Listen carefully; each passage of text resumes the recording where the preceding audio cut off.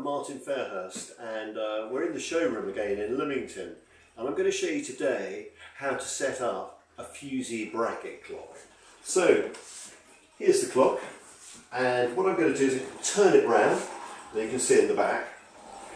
And now going like to so. remove the bell, which I do on doing the nut, remove the bell.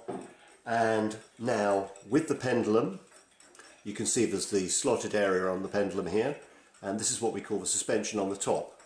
Now this is a little bit more tricky because you have to basically get the slotted area through there and we have to put the suspension through this top chap through the gap here and let it rest down. It's a cross bit of metal that just holds in place there and we basically then have done it and in theory by giving that a swing should be able to get it ticking nice and evenly.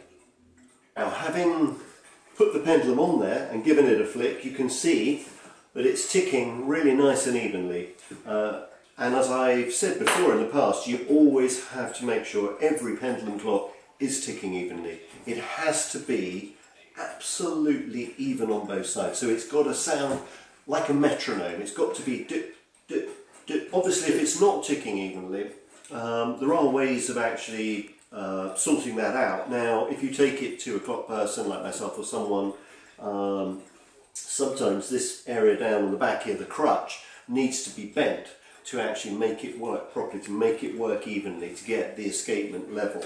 Um, another way of doing it yourself, uh, if it's not too bad, is you could put bit of card or something under one side or another. That's perhaps if you haven't got a level surface that you're putting it on a desk or something like that that may not be level. Anyway, this clock's working fine because this surface is level and this clock is sort of set up to go. So I'm now going to put the bell on here um, just to finish this off.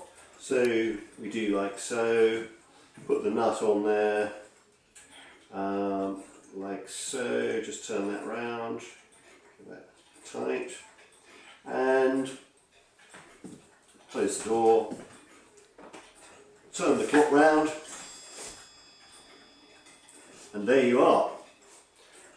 That clock's ready to go, and that's how to set up a Fusee bracket clock.